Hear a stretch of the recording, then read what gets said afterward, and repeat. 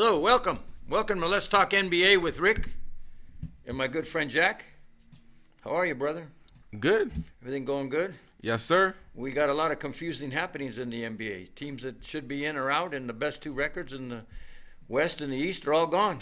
Well, What's going on with the NBA playoffs? well, I can tell you that I know Jack, and I and and I told You've you, been Mel- on. You've been on Phoenix all year. I- Phoenix, and I've been on- This guy has told me from the start that Phoenix Phoenix was going to be in the finals. I mean, and I told you what, Mil- how much money have you made on Phoenix this year with, Uh, with the- that type of philosophy? The discretionary income has been a little bit uh, on the low side, so not that much, but enough. We're not paying you enough at the studio here. No, sir. You're not making the big bucks yet. No, You're not making the ESPN bucks over here. yeah.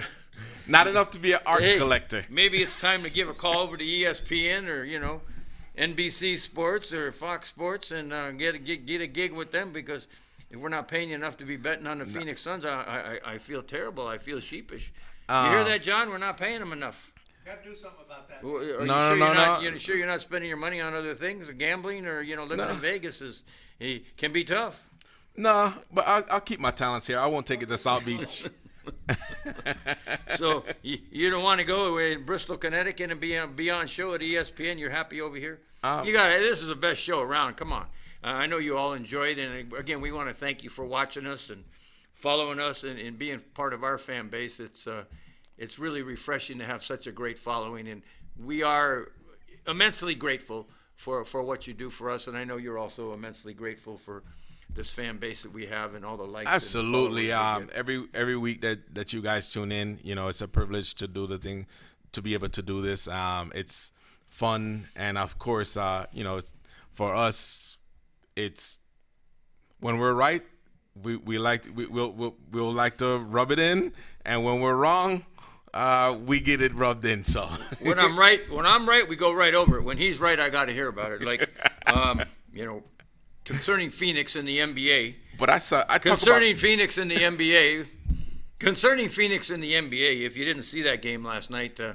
watch it back on one of the networks uh, because that Phoenix Clipper game was uh, got totally out of control at the end. It was like the Cl- longest- The series should have been one-one, and the Clippers blew it, man. how how Paul long George, 89% free thrower, misses two free throws. My God, man. You're a superstar, Paul George. I mean, choked. I couldn't believe it. 89% are. This isn't Giannis shooting free throws. This isn't Ben Simmons shooting free throws. This is an 89% free thrower. Clippers up by one point with 8.2 seconds left. He misses two free throws, and of course, the game ends up uh, Phoenix winning it on a slam dunk with almost no time left. yeah point What, what a terrible way to go. Um, What a terrible way to that was like the longest five minutes. Oh my uh, God! uh, I mean, of it- regu- it, it regulation was a time. basket, and I I mean, I hope all of you saw it. If you didn't, you can see it on replays quickly. The slam dunk that won the game, And no DeAndre one- Ayton on a, on a great pass by Jae Crowder. Uh, wow, what a play! I never thought Phoenix Phoenix would win that game. I was telling Jack, you know, you talk about bets and you talk about discretionary coin. I looked at the odds last night, and it was the Clippers getting four and a half. And I said, my God, I was lick, licking my chops. I said, this is one of the games I talk about. I don't bet a lot. I bet games that I know I'm going to win. And there's no way that those teams are evenly matched. Now, Chris Paul coming back in the next game, and, and Leonard not coming back is is going to be tough on the Clippers with Chris Paul back in there. But uh, I looked at it and I said, my God, there's no way the Clippers will lose by four and a half. They're going to win this game. Anyways, I put that bet in and I won it. But those are the type of bets I'm talking about. Anyways, back to that series. It's two to nothing Phoenix and. Oh, but but um, Clippers in trouble. Clippers has been here before, and we've always Yeah, but they haven't played this kind of team. This Phoenix team is good. They find a way, man. And you know what? It's the one team that I watch, and it's interesting. and- I was observing this last night. They have a great coach. Mm-hmm. Great coach. Should have been coach of the year. He Nothing. draws up plays.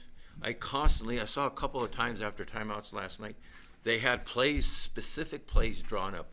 Not just pass the ball into the star, let him dribble around like the Clippers do so much with Paul George, and you f- shoot. Um, they had specific plays set up, and I was like, look at this guy. He's in the huddle. They're setting up plays. Everything is not not going to Booker. Everything is not going to Devin Booker.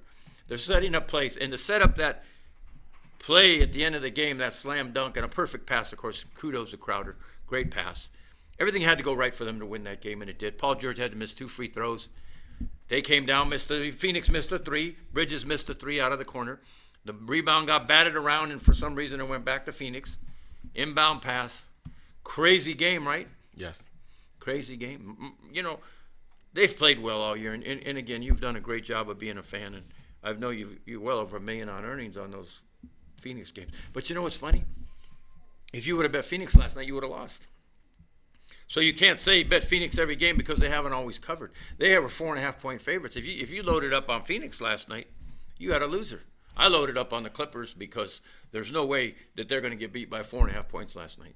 I don't know what's going to happen with Chris Paul back in the lineup though. If if the Clippers are now outmatched because they don't have Leonard, it was even with Leonard and, and, and Chris Paul out, but it's not even anymore. It's going to be a disadvantage for the Clippers with Chris Paul in there. I, I think they might get swept. I don't think they'll get swept, uh, but They're I in trouble.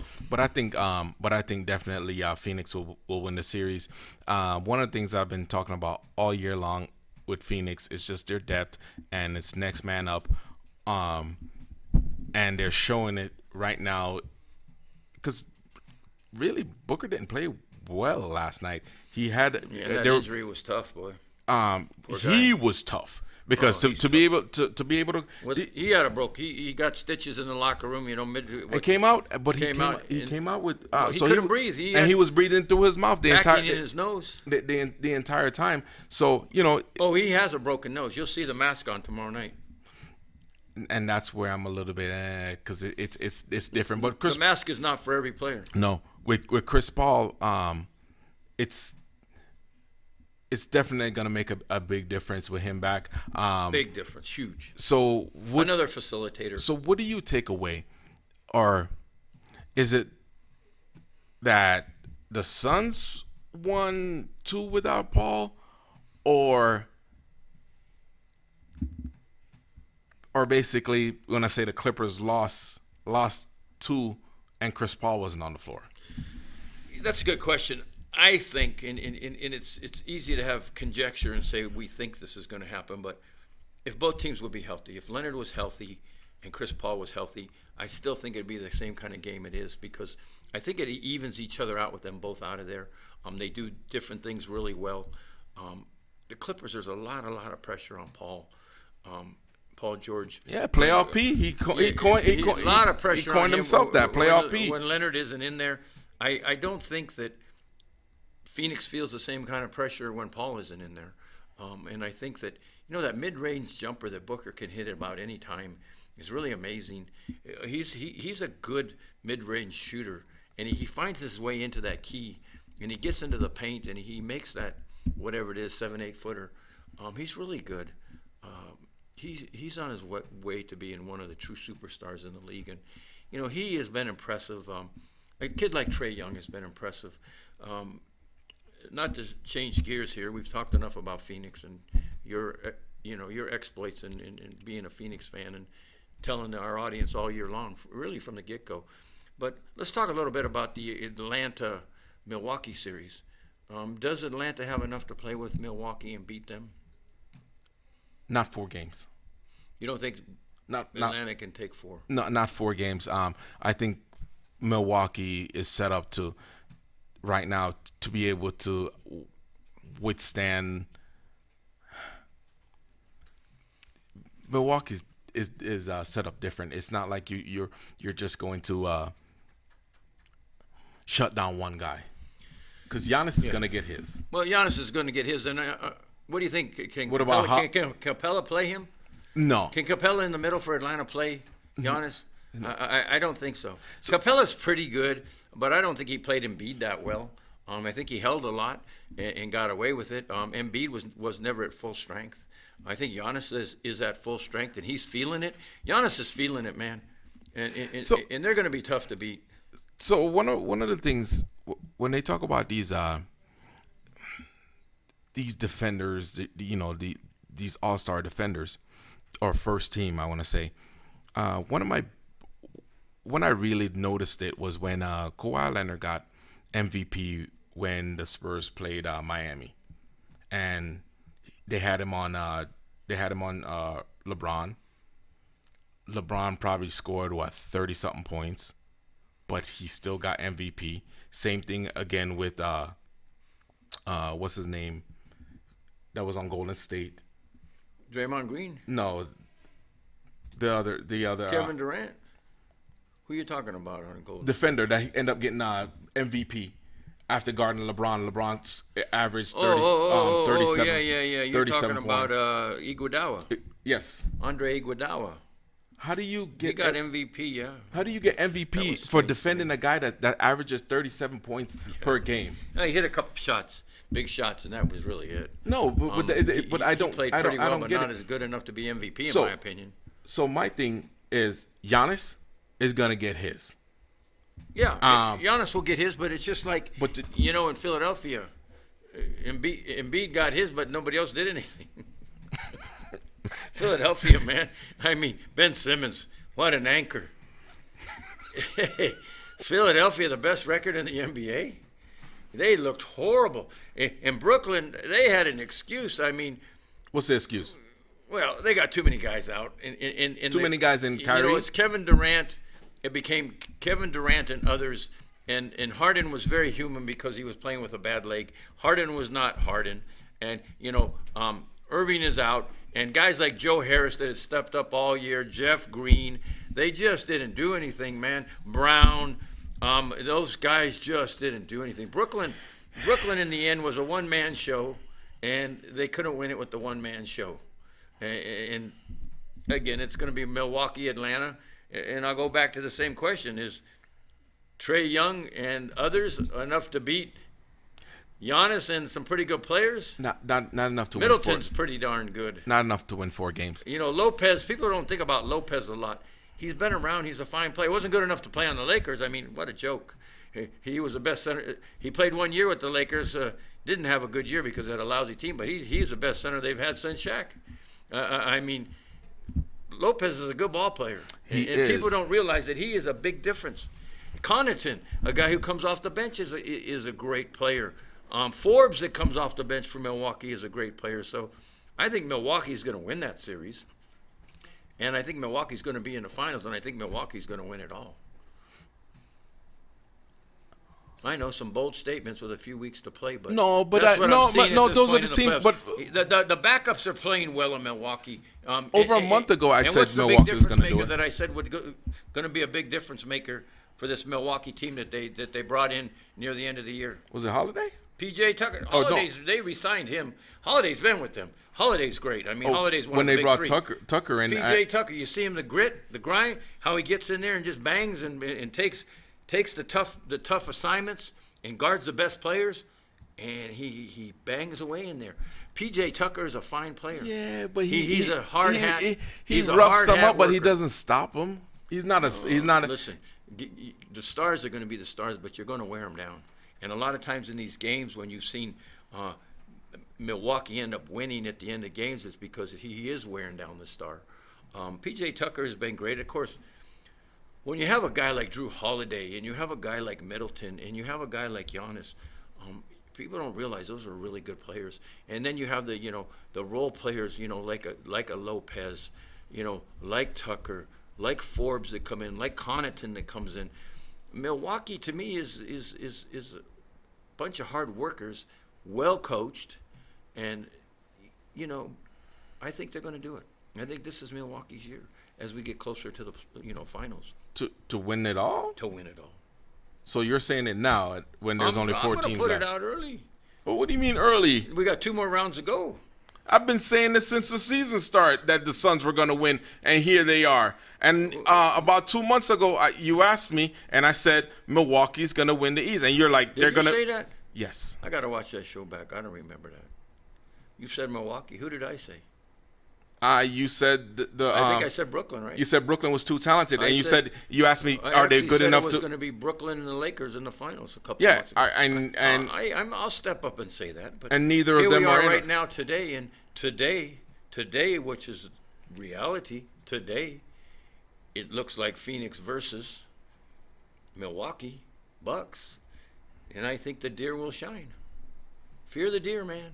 Hey, the sun's Fear- gonna the sun's gonna be too bright for the for the Bucks. Oh, It- they're gonna play like a deer in the headlight. Yeah, I, you know, it, it's going to be fun. It's, we're not there yet. The Clippers may come back, and we haven't even started the Atlanta Milwaukee series. Atlanta may continue to surprise. It may happen. Very well coached.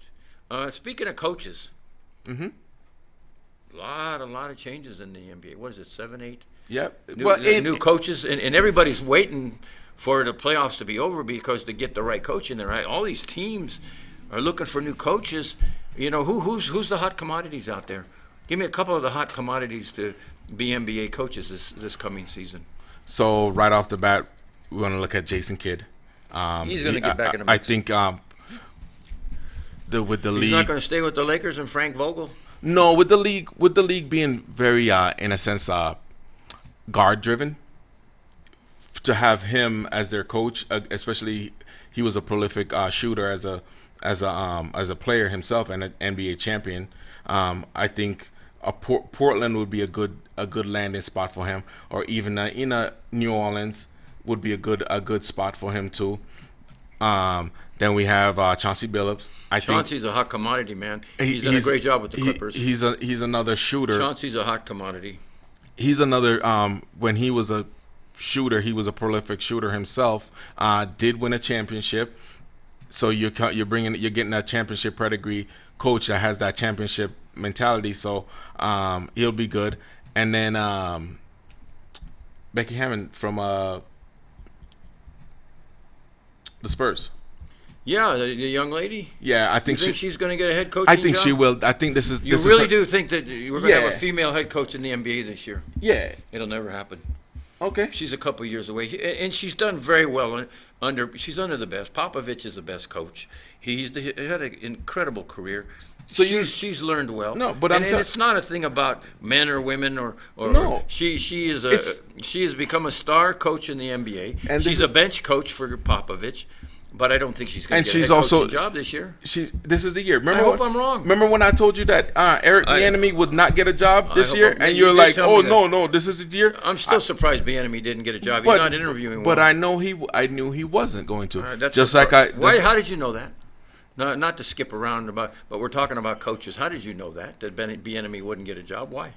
because if he was going to get it, he would have gotten it already. He'd have been. He, he would have been. He would have been the first. He would so have been the is he first going one. to get a, co- job next year after Kansas City wins the Super Bowl again? No, yes, he. But it's gonna be. It's it's gonna be a um, not necess- It's gonna be. I need to give it to him because of what he's done. Um, no matter what, they're basically gonna give him that head coaching job for his next venture. Let's get Um, back to NBA but, but with. NBA now, I think this is this is her year. Uh, this I, I disagree with you. if she doesn't get it this year, I disagree, It, the, the the door's gonna be closed for the I next ho- few I years. hope, I hope, and, and I want all the fans to know that. I hope that she gets the job. I, that would be the first woman head coach in the NBA. I, I think it's fantastic. She's done a great job in San Antonio, well trained by Popovich. Uh, what I'm curious about is uh, is D'Antoni going to be back in the league? Now you know he's been assistant over there in Brooklyn, and uh, is Steve Nash assistant? Is he going to be back in the league after all those great years in Houston?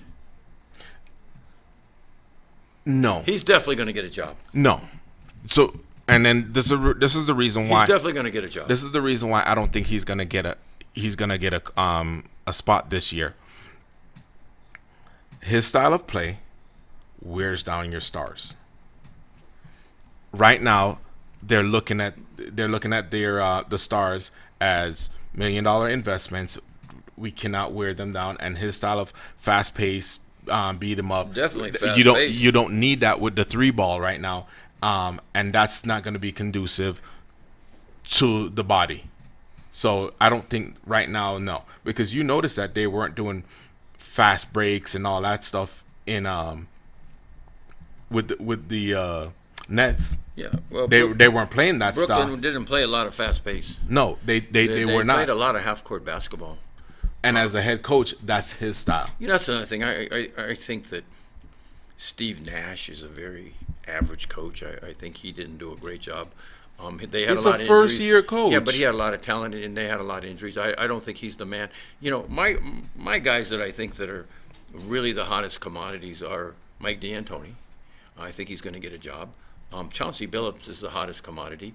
Nate McMillan, is Atlanta going to re-sign him, or, or uh, have they waited too long now? He is interim coach. Ah, he's got As interim coach, he can go anywhere now. But is Atlanta going to pony up with enough money and sign him, if or is he going to go someplace else? if if they don't, he's gonna end up going elsewhere. well, of Um, course he's going to get a job. He's he's done incredible for Atlanta. for taking over middle mid season. Look where he he's at. He's in the Eastern Conference Final. They, they- they were Hey. in last place. Yeah, and they got on a winning streak. He he showed them how to play basketball as a team, and and, and they've been great. He he definitely, to in my mind, has been coach of the year. Definitely in my mind. Well, You and he also it- changed the culture once he once he took over, and that that's uh, you know me, I'm always big on culture and uh, the fact that you can see the difference in the in the mentality. And um, right now in the playoffs, they don't ever feel like they're out of a game. Never. Look at what they did with Philadelphia, coming back down 18, 24 24. in the third quarter. yeah, That so, was embarrassing. so By the way, Philadelphia, you know, you definitely are the disappointment. Philadelphia is the dis- disappointment of the playoffs. They really are. And Ben Simmons, as a professional athlete, shame on you that you wouldn't hone your game, learn how to shoot a jumper, learn how to uh, make free throws. Shame on that young man. And everybody saw it. He- was an open book because it is the playoffs. It's, it was. It's been the topic since Philadelphia lost. He's not even going to try to be on the Olympic team because he's going to train all summer What- to get better, which he should do. he should do. And Doc Doc, Doc said he's going to work with him, which is what um, happened during the year? They had uh, several months to work with him. Uh, they waited but- but- until the playoffs could be, to No. know that he couldn't make free throws. Come on, a, a, a top player like that, they're hacking him and, and putting him on the free throw line like they do. Uh, they did like DeAndre Jordan and Shaq and those kind of Okay, so then what was on, what, what was it? What was Shaq's excuse? Shaq He's a didn't. big, bulky center, okay, and and it's tough to make free throws with all that bulk. I know. So, anyways, I'm not a good free thrower. Anyways. Hey, they, they, they then you shoot like Anthony Mason. Anthony Mason used to shoot like this, oh yeah. and he I, I thought he was as big as they they came with uh with um NBA players. Yeah. So guess what? You change your form. Philadelphia, what a disappointment. Again, um, I'm not surprised. I don't. I've never felt Doc Rivers was a good coach. Uh, he can't. He, he got lucky in Boston because he had leaders who took over, and they were the guys. With you know, uh, Kevin Garnett just said, "Get on my back, let's go, boys." Um, they had winners over there, and and that's why Boston won. I I don't think Doc Rivers is a good coach. He didn't do anything in with the Clippers, a talented team, and he didn't end up doing anything with a very talented Philadelphia team. If you don't win it all, you didn't do anything. like, I'm but sorry. but but but come on. How do you, you how do you Joel how do you put how do you put Ben Simmons lack of being able lack of confidence lack of a shot on Doc? Oh, it's very simple. If you're playing for me, you're in the gym every morning at six o'clock shooting free throws every day. You're going to shoot 500 to 1,000 free throws. I remember they, they used to talk about Kobe Bryant. After a game, he'd shoot a thousand shots. Before a game, he'd get there and shoot. Uh, a lot of those stars are like that that we don't hear about. If you're that interested in your game, if you're that interested in so- being the best, so- you so- practice and practice and practice. there is no excuse for Okay. a guy making that kind of money. Okay, There is no and it goes back to say why There's how, no how is how is Doc Rivers gonna be the one to get blamed for that? Because you didn't Why? say you didn't say He's um, not the coach. but you didn't say He's Phil, Phil. Jackson. You didn't say Phil Jackson No. made sure that Kobe Bryant stayed after practice and shoot. Phil Jackson made sure that that after Many no, players are self-driven. No, you said Kobe stayed after practice and shoot. After Kobe or after game and shoot And practice. So Kobe did it. Ben That's Simmons have to do that himself. Not not Doc. You can't put that on Doc Rivers. You can't put, put, put his confidence lack of confidence to even take a dunk when the game is on the line. No, he he fell apart. The thing about it is, But so you can't put that on Doc. You got to put it on on him. Absolutely, I put it on Doc No. because you are the leader of that team. If you have a player uh, that is not doing well, it is up to you to go to that player and say, "Hey, this is what you need to do to get better." Not every player. And you don't There's think he does few- that? How many Kobe Bryants were there ever in the league? One. How many Kobe Bryants? One Jordan. One. What? Hey. one. One. uh, But how many Ben Simmons are in the league that a coach has to tell them, you need to step up, son. You need to be better. They it it, it, it comes a point where it becomes a coach's responsibility. I'm sorry, and and I just don't think Doc Rivers is a good coach. But you know, we can talk about that all day long. No, and so, disagree so, and- no, no, no. We, and- and, and we, and- we're gonna we're gonna go back to that. So, go back to what? to as far as players doing what they're supposed to do to get better, Yeah, um, it starts with the individual. There's exactly no because that. our most improved player of the year. It starts with the individual. You know what he did? He went into the gym and he did what he's supposed to do. One of the things that he said when he when he played with, and I'm talking about um, Julius Randle, when he played with Kobe. What one of the things that he said Kobe did was anytime he he flew into a city, he would find he'd find a gym. That's and he'll correct. go and he'll go work out. Back and he, to Kobe Bryant. And then he God rest his soul. he adopted that that um Philosophy. that philosophy, and then And he, he ended continued up, it. He continued it and ended up getting better, and now he he got uh, most improved player, and he was you know basically top in the top five or ten as far as uh, MVP. That's that's how much a difference maker he made based on him changing his. But but that's so so Thibodeau did not say you need to go into the gym and go work on this. Thibodeau set their bar as far as these are my ex- expectations of you, and this is what I think that you can do as far as pushing him, saying take over the take over the the, the lead and go score. Let me ask you this question: Do you know when Julius Randle adopted that philosophy? He adopted it after Kobe died, and he realized that he wasn't doing the things to be the best. And it's funny that he, he became a better player after the passing of Kobe because something inspired him. And I'll give you a perfect example that just has to do with just somebody out on the streets. You take a guy who works out, he's always worked out, and he stops working out and puts on a little weight. And he's like, damn, you know, I'm not working out. I'm not doing the thing, but I always worked out. I was always great at it. But his wife or one of his kids says to him, hey, dad, why aren't you working out? You put a little weight on. Why aren't you doing this, this, and this? Oh, you're right. And it inspired you to go, it inspired the person to go back to the gym. On the other hand, you have the person that always works out no matter what, never puts on the weight. Nobody ever tells him. He doesn't discuss what he does with everybody else because he's self driven. That's a self driven workout guy who does it on his own. This person needed some inspiration. As a coach, it's up to you to inspire your players that aren't meeting the program that aren't part of the program that you need them to be in, that, that are not meeting the expectation, is the word I'm looking for. When Simmons, throughout the last couple of years, they talked about his shooting has not met the expectation. Nobody has held him accountable. And again, I don't really. in the- He tried. Uh, they, they, showed videos in the in the um in the off season him working on his three point his three point shot because he went several years without ever attempting one well, maybe because he need to doesn't get have. him a psychologist to help his mental. Game. Maybe he does have a mental but- issue to a mental block to to get over. Um, and guess what? He's gonna have to work on it. He'll get more time now than instead of the seventy one days Well, in between. he- and and they weren't is- they weren't he is- practicing as much. he is an open book right now because the whole world saw what his failure. But anyways, let's talk about let's talk about the successes and um, the teams that really have stepped up, and, and that's Phoenix, the Clippers, Atlanta, and Milwaukee. You think Phoenix is going to win it all? Yes, sir. Okay. You heard it here. I say Milwaukee, he says Phoenix. By the way, my friend is going uh, on a road trip with his family on vacation. He's not going to be in the studio with me.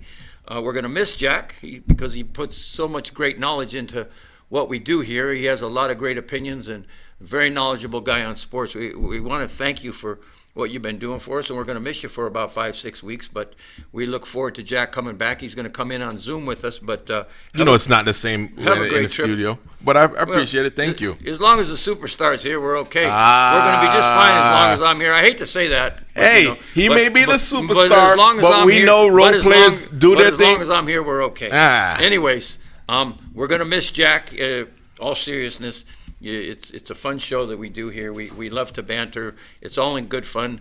We are the best of friends away from here, but uh, we love to chop it up uh, with, with the sports game, and we don't always agree. We agree on a lot, but. Uh, the NBA has been a lot of fun this year. It, it will be done with the shows by the time you get back. This NBA season will be over, and then we'll be into NFL, which is going to be fine. We'll be jumping into NFL August 1st, so we'll be talking that about teams and predictions and so forth. But we wanted to thank you all for watching, and uh, I know you all wish Jack well in his travels with his family to the East Coast and to his, see his family out there. God bless you. Be safe and uh, have a great time with your children and your family, and w- you'll be missed. Thank you. We want to thank you all for watching. Keep watching us, and uh, thanks for helping our numbers grow, and uh, we're getting good followers, a lot of great uh, reaction and likes, and thanks for watching us at YouTube and uh, the various places. Ro- Roku, Apple, WWDB TV. We're grateful for your viewership. We thank you. We look forward to talking to you next week about some more NBA. Thanks for your input. Stay tuned. Thanks for watching. Talk soon.